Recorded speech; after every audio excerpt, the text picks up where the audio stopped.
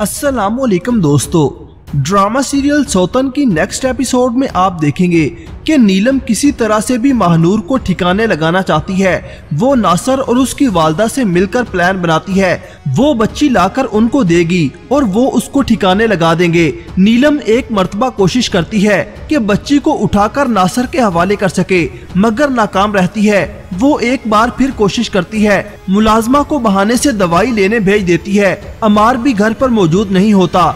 मलिहा महानूर के लिए दूध लेने जाती है तो नीलम महानूर को जल्दी से मलिहा के कमरे से उठाकर ले आती है और लाकर बच्ची नासर और उसकी वालदा के हवाले कर देती है और कहती है कि इसे जल्दी से ले जाओ, कोई देख न ले। नासर की वालदा उससे कहती है कि, जा बेटा, इसे जाकर ठिकाने लगा। जिसके बाद नासर बच्ची को लेकर चला जाता है और सुनसान सड़क पर फुटपाथ पर रख कर आता है। इधर जब मलिहा दूध लेकर कमरे में आती है तो महानूर कमरे में मौजूद नहीं होती।